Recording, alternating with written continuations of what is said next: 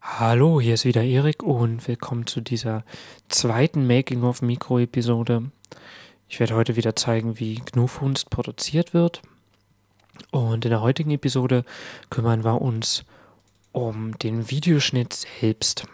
Das ist ja vielleicht ein ganz interessantes Thema, weil, weil Videoschnitt auf Linux ist immer noch so ein bisschen ähm, so, so, ein Thema, wo viele sagen, ah, womit kann man das denn machen? Und es gibt inzwischen ganz gute Möglichkeiten und eine dieser Möglichkeiten ist auf jeden Fall Blender. Blender hat einen sehr, sehr guten, leistungsstarken, nicht linearen Videoeditor drin, mit dem man echt eine Menge machen kann. Und ich zeige heute einfach mal, was wir da drin machen, um genug Hunds zu produzieren. Und man sieht jetzt hier schon, das ist die fertig ähm, produzierte vierte Episode mit, mit all den Sachen drin.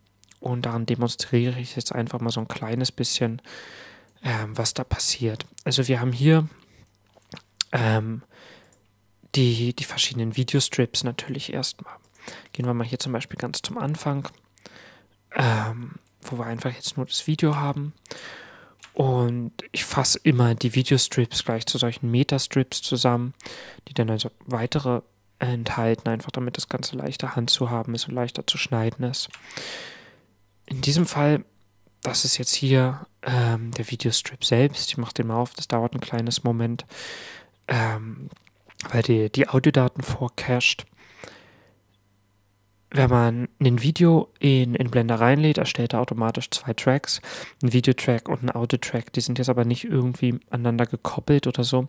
Darum ist das erste, was ich normalerweise immer mache, dass ich den Audio- und den Videotrack zu einem Meta-Track ähm, zusammenfasse, zu einem Metastrip, ähm, weil dann kann ich das ähm, direkt in der Länge verändern und umherschieben, ohne mich darum kümmern zu müssen, dass die beiden Tracks synchron bleiben und so. Genau, jetzt sieht man das hier. Wir haben hier den, den Videotrack und darunter den Audio-Track, der von der Kamera mitkam. Den habe ich jetzt hier in dem Fall. Ähm, haben wir noch einen dritten Audio-Track. Das ist der Audio-Track, den ich in der letzten Episode schon gezeigt habe, wie ich den gemischt habe. Also das Audio, was von den beiden Mikrofonen aufgenommen wird. Was ich einfach mache am Ende ist, ich, ich schneide die Episode erstmal komplett mit dem Audio, was von der Kamera aufgenommen wird. Das Schöne ist, da das Ganze in Metastrips verpackt ist, kann ich dann später einfach reingehen.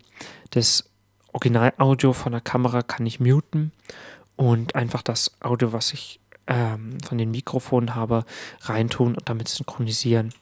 Es macht sehr einfach, einfach das gesamte Audio der Episode durch die richtigen Aufnahmen auszutauschen. Äh, wenn ich hier wieder rausgehe, dann sieht man eine Ebene höher, habe ich jetzt auf diesem Metastrip, der, unsere Video der unser Video enthält, einen Transform-Effekt obendrauf, der benutzt wird, um das Video hier unten in die Ecke zu schieben, wenn, wenn Bildschirmeinblendungen gemacht sind.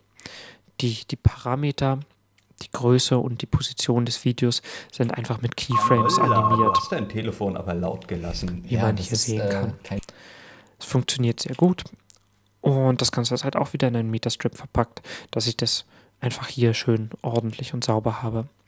Darunter liegt jetzt noch ein Metastrip, der enthält ähm, direkt die Aufnahme von dem Bildschirm. Darüber liegt noch ein weiterer Metastrip, der in dem Fall hier die ähm, verpixelte Version nochmal davon enthält, einfach mit ähm, zweimal skalieren, um, um hier die Kontakte ähm, aus, aus der Liste ähm, zu verbergen ganz oben drüber liegt noch ähm, dieser Strip hier, der einfach eine immer wieder geloopte Version von diesem kleinen rotierenden Logo unten in der Ecke enthält. Hier jetzt zum Beispiel haben wir einen kurzen Übergang. Da habe ich hier einfach oben drüber liegen so einen, so einen kurzen Wipe. Ähm, das ist auch ein Metastrip. Wenn man da reinguckt, sieht man, da habe ich einmal eine Blender-Szene direkt drin. Die ist jetzt gerade versteckt. Die kann man ähm, ganz gut benutzen. Einfach zur Vorschau.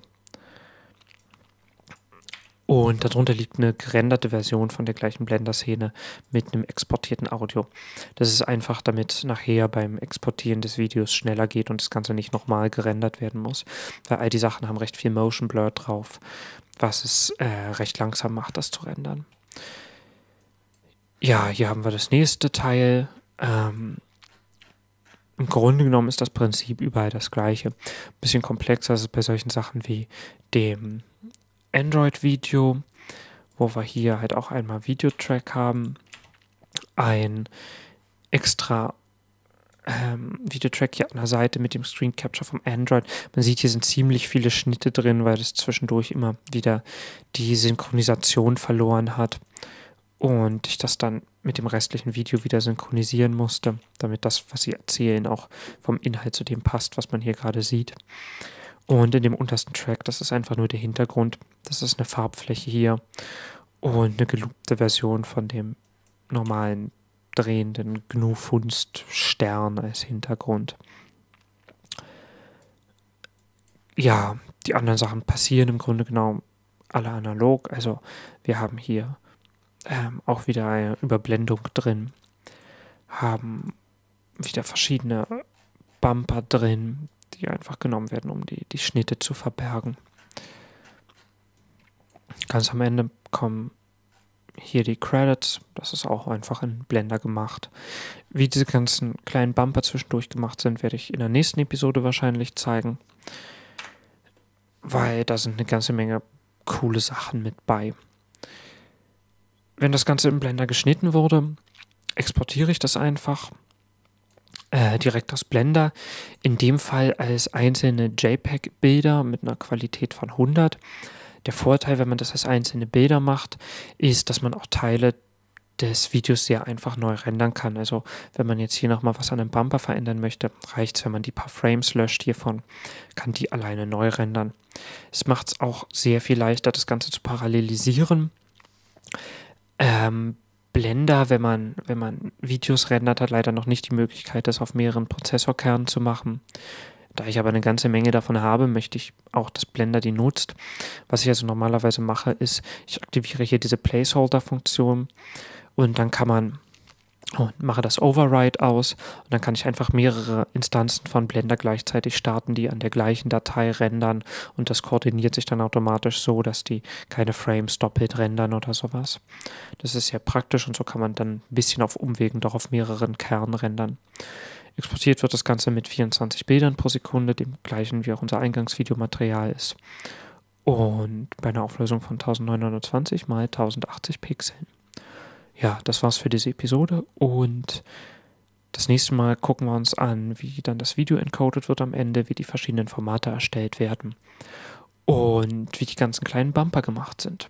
Bis dahin, schöne Woche noch und man sieht sich.